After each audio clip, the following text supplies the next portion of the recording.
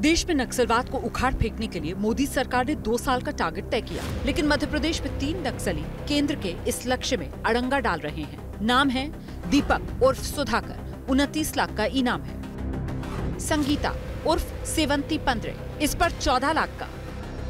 और राम सिंह उर्फ़ संगत पर भी चौदह लाख का इनाम है।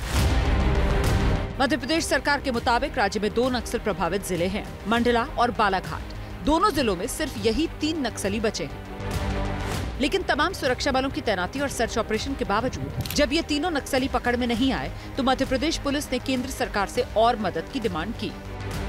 मध्य प्रदेश पुलिस ने अब केंद्र से सीआरपीएफ की तीन बटालियन समेत साढ़े सात हज़ार आंतरिक पुलिस फोर्स की मांग कर दी है, जिस पर करीब सत्तर करोड़ रुपए का खर्च आएगा। जबकि इन तीन नक्सलियों को पकड़ने के लिए मध्य प्रदेश पुलिस ने दोनों नक्सल प्रभावित जिलों में पहले से ही इतनी फोर्स तैनात कर रखी है। बालाघाट एक सीमावर्ती जिला है। इससे लगा हुआ महाराष्ट्र और छत्तीसगढ़ है। दोनों ही जगहों पे बहुत तेज़ी से नक्सली के विरुद्ध ऑपरेशंस किए गए हैं और बड़ी संख्या में पहली बार इस वर्ष नक्सलाइट्स मारे गए हैं।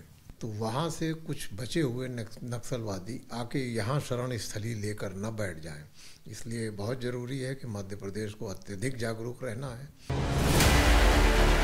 पुलिस का दावा है, राज्य से नक्सलवाद का लगभग सफाया हो चुका है, लेकिन नक्सली गतिविधियों पर लगाम लगाए रखने के लिए लगातार सुरक्षा बलों की तैनाती ज़रूरी है, क्योंकि मध्य प्रदेश के नक्सल प्रभावित जिलों की सीमाएँ दूसरे राज्यों के नक्सल प्रभावित इलाकों से लगी हैं। लगभग साठ के आसपास नक्सली अलग अलग जो क्षेत्रों में जो देखे गए हैं तो लगातार दबाव बनाए रखने के लिए आवश्यकता महसूस हुई थी कि यदि कुछ अतिरिक्त बल मिल जाता है तो उसके कारण से दबाव बनाने में, उस इलाके में पुलिस को और मदद मिलेगी।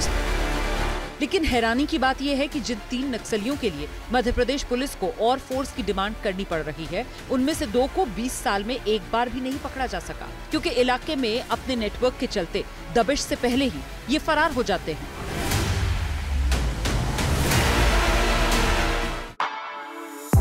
For exclusive and insightful videos, subscribe to our new channel ABP Live Premium.